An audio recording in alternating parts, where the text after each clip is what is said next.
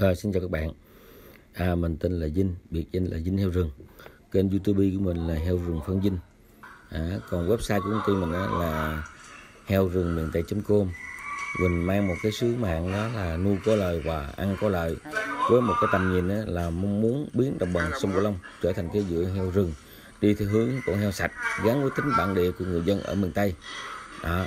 Với hình thức là nấu tắm, trộn cám, đụng rau. 70% là thức ăn xanh 30% lại là tắm là cám là thức ăn viên chẳng hạn. À, như vậy thì à, mô hình của mình là nó không có kén. Miễn sao mà bà con nuôi con heo rừng bằng cái thức ăn tự nhiên chủ đạo là được. Đó. thì như cái mô hình này là của một ông khách hàng ở ờ, cái lạy tiền giang.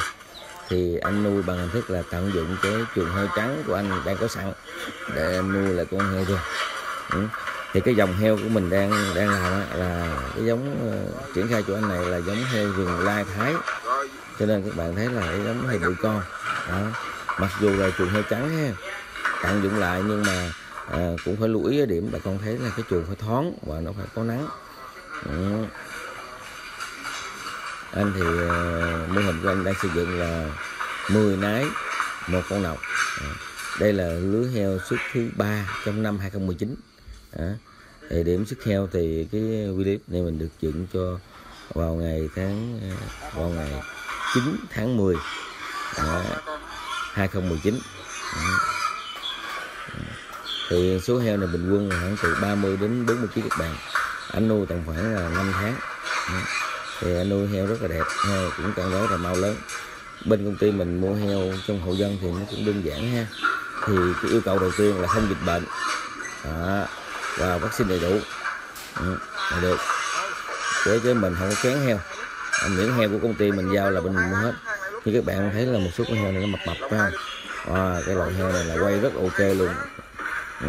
thì cái dòng heo nào con nào mập thì mình quay. Con nào vừa vừa thì mình mần mình giao cho quán cái hang vậy ừ. Ừ. như vậy các bạn thấy là nếu mình nuôi chừng khoảng 6 tháng 5 tháng đến 6 tháng mà heo đạt trọng lượng từ khoảng 35 kg vậy thì rất là ok.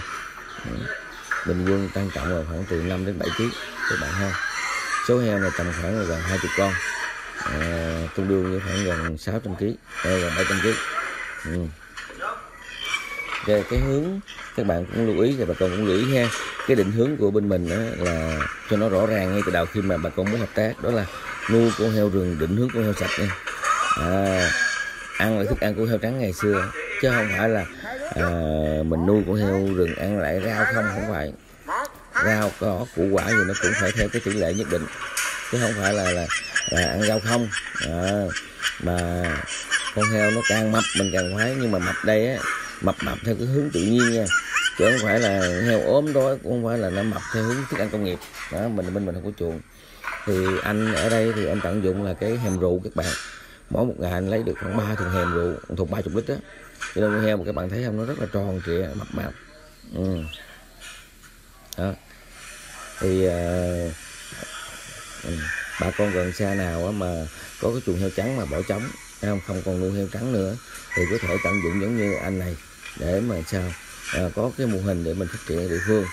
À, ngày xưa thì anh thì cũng lúc trước anh đã từng nuôi heo rừng rồi nhưng tuy nhiên thì thời điểm đó là mình còn là sinh viên cách đây gần 10 năm à, nhưng mà anh nói thôi heo rừng thời điểm đó đầu ra nó còn bấp bênh quá nên không có người hợp tác nên anh nghĩ anh chuyển sang heo trắng.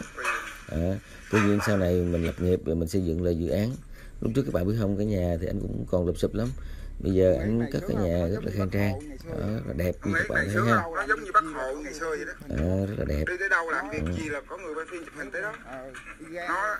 ừ, cái cổng rừng rất là đẹp luôn anh ha. À, thì uh, tuy nhiên thì sau này thì mình phát triển heo rừng mạnh thì anh lấy nhớ đến mình cho nên là anh em vô lại hợp tác. À, ba con đó ba con như trong đó. Các bạn thấy không? Heo rất là đẹp. Ừ. thì hiện giờ thì anh tận dụng cái nguồn thức ăn xanh của trong vườn kết hợp với cái hẻm rượu mà người ta nấu rượu đó. Ừ. tất nhiên là không phải là ai nuôi heo rừng cũng phải là cho ăn hẻm rượu nha các bạn. Mà mỗi một cái người dân ở một cái địa phương có cái nguồn phụ phẩm nào phù hợp để cho ăn thì mình phối hợp rồi công ty sẽ cho cân đối. Chứ không phải nhất thiết là phải phải phải phải ăn là hèm bia ổ hèm rượu không phải. Ví dụ như xứ gần của lắp giò có ấu thì nguồn năng lượng nó là à, à, xứ xe đét nhiều bột thành phần kết hợp phụ phẩm là bột. Không? Chẳng hạn vậy. Đấy, còn ai mà gần lò tàu hũ có bã đậu nành thì tận dụng nguồn bã đậu nành. Đó. thì cái công thức có phần thì mình sẽ không nói ở đây. Thì mình sẽ chia sẻ bà con nếu mà bà con nào thật sự quan tâm thì hãy liên hệ với số điện thoại bên dưới màn hình. À, 0931 088 778 ừ. thì các bạn thấy là heo trước khi mà xuất từ hộ nuôi thì bên mình cũng có một quá trình là phun sát trùng. À, cái này phun sát trùng như các bạn chứ không phải tắm heo đâu. Thuốc sát trùng á. Ừ.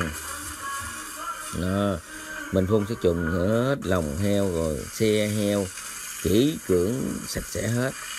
À, rồi bắt đầu mình mới ờ, đưa heo vô trong trong, trong, trong xe để mình đi. À, tất cả các heo thì được đưa vào lòng hết. Ừ. để mà đảm bảo nó không cắn nhau và nó im. Ừ. đó. Đây là đang sức heo đang trước nhà chắc là ỉa thú um luôn. Ừ rồi thôi xin cảm ơn các bạn à, và những cái khách hàng đã quan tâm. Tuy nhiên thì bà con nào muốn phát triển cái mô hình định hướng con heo sạch ở khu vực miền tây thì hãy liên hệ với mình. Đó. Thì đây là một hộ ha. Còn hộ thứ hai á thì à, cũng có mô hình tương tự nhưng mà cũng hơi tối nha các bạn. À, cái không gian uh, chuồng thì các bạn thấy không rõ. Tuy nhiên cũng chung một mô hình thôi. Hai hộ này đều tận dụng cái chuồng heo trắng lại để nuôi heo rừng.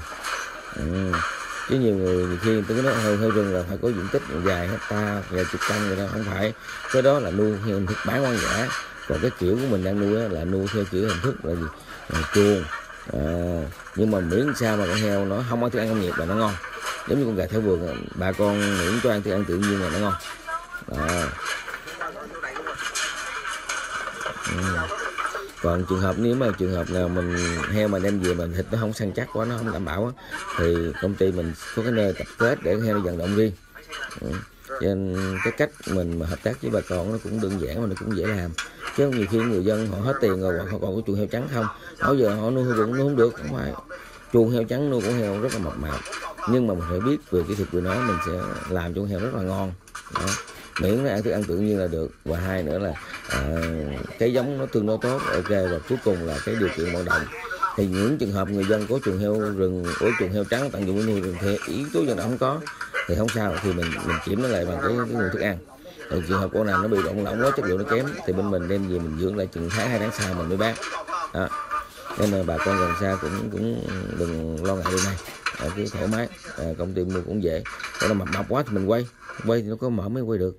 Đúng không nào rồi xin chân thành cảm ơn các bạn à, đã theo dõi video của công ty trong thời gian qua à, nếu bà con nào thấy mô hình này hay có thể ừ, đăng ký liên hệ với số điện thoại bên dưới màn hình thì công ty sẽ cho người xuống hướng dẫn và à, làm quy trình để thả heo còn nếu mà à, anh em bà con nào thấy cái mô hình này cần thiết cho những bà con khác thì hãy lưu lại à, cái thông tin này hoặc là chia sẻ bài viết này cho những người thật sự có mong muốn à, Vinh um, đứng đầu một doanh nghiệp. Rất là mong muốn hợp tác thiện chí với bà con mình à, làm sao để tạo ra con heo rừng lai theo cái hướng mà dân địa phương hồi xưa mình nuôi con heo cỏ để tạo ra cái dòng heo giá với giá trung bình nhất mà người ăn cũng có thể thấy vừa miệng mà cái người nuôi thì lại có một mô hình để làm với một cái sứ mệnh là nuôi có lời và ăn có lợi đó là cái điều mà doanh nghiệp đang mong muốn.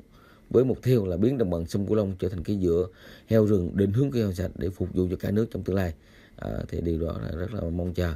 Một lần nữa xin chân thành cảm ơn bà con và các bạn đã theo dõi kênh của công ty. Xin chân thành cảm ơn các bạn.